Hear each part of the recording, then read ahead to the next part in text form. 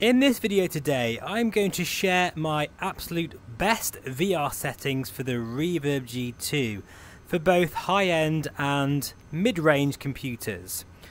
And at the moment, we're just about to take off from Edinburgh, and I'm going to get straight into this. So, first of all, it's important to ensure that whatever settings you're running, that you can run them. I know it sounds ridiculous, but don't be afraid to turn those settings down, okay?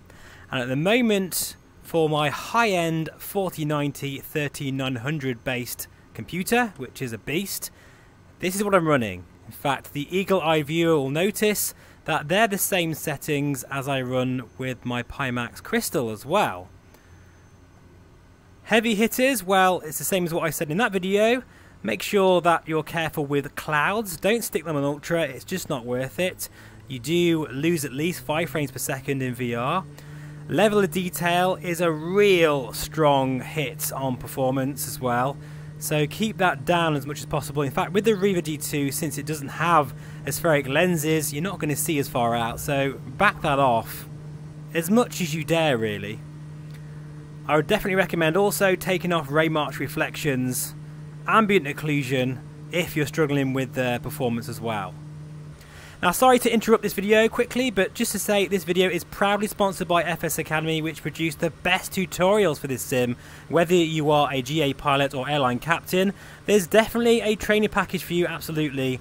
And I've done them myself and I think they're absolutely fantastic, especially because they're from real world pilots and instructors and they provide excellent uh, resources such as charts and navigational aids and all that kind of good stuff. So if you're interested in FS Academy, I'd highly recommend that everyone at least gives it a go once. All the links will be in the description below. And yeah, definitely check them out. And it's why they are sponsoring this video today. I'm now going to share my settings for 3070 based owners. As you can see, very low settings compared to the 4090 of course, but you know what? When you're in the sim in VR, it's not like you really notice that massive degradation in visual quality. So feel free to copy those settings as a benchmark and then do tweaking as necessary for your computer. Because bear in mind folks, everything I'm saying today is based upon my settings that work for me and hopefully somewhere along the line between my settings and your settings you'll get the optimum performance for your computer. Because of course there's a million different configurations out there. So let's now talk about TAA and DLSS. Now I would recommend if you want to use DLSS to stick with balanced with the Reverb G2 and then use the OpenXR toolkit and head to the CAS setting with 50% sharpening. That is definitely something I recommend, especially for 3070, 3080 owners um, DLSS is definitely your friend. But if you really want to use TAA mode, okay, this is the thing that I've always recommended right from the very get-go with VR in this sim, and I still recommend it today.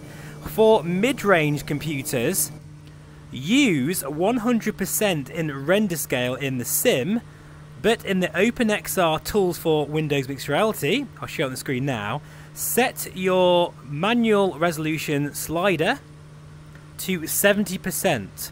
That, for whatever reason, helps performance and you get the best amount of clarity for the least amount of, you know, performance hit, if that makes sense. So that's something I'd definitely recommend.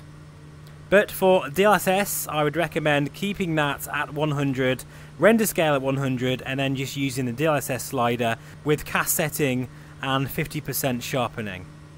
So that covers TAA mode and DLSS. Now if you do have a high-end system, like a 4090, you will be able to super sample the Reverb G2. There's a few ways you can do that. You could use the OpenXR tools for Windows Mixed Reality, set that to 150%, it will look amazing. Or you could use the override feature of the OpenXR toolkit. That's another way of doing things and just whack that up as far as it can go and yeah the image quality is amazing and with the 4090 you won't suffer such terrible performance drop off. So a few of the things to mention is motion reprojection. That is something I am personally a massive fan of. But you might not be, okay? That's fine. But the whole point of motion reprojection is that your system needs to always hit the desired FPS figure. I think that's where a lot of people are going wrong. Now the best way to ensure that is to do a stress test on your computer. Go to somewhere like London City with heavy cloud and if you can reach about 30 frames per second motion reprojection there, you are good everywhere. Bear in mind also that if you're using motion reprojection, 45 frames per second is the best target because you're only using one frame, um, extra frame that is, which will mean less artifacts. Of course, the lower you go, whether it's 30 frames per second, you're going to get two frames added in, and at 22.5 frames per second, you're going to get even more, which will show plenty of artifacts on the prop and on the wing and all that kind of stuff. Now, for both mid-range and high-end users, there's a few things I would recommend. That is for DirectX 11 and Hags-On, that is GPU scheduling. Now, there's another uh, feature called Prefer uh, Frame Rate over Latency. That is essentially the turbo mode found in the OpenXR toolkit.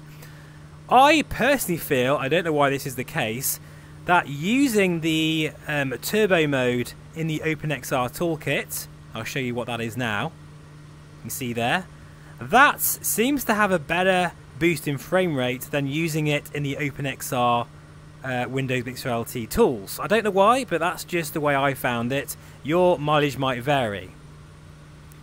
And that is it guys, literally a short and sweet video but to show you what settings I use for both mid-range and high-end users.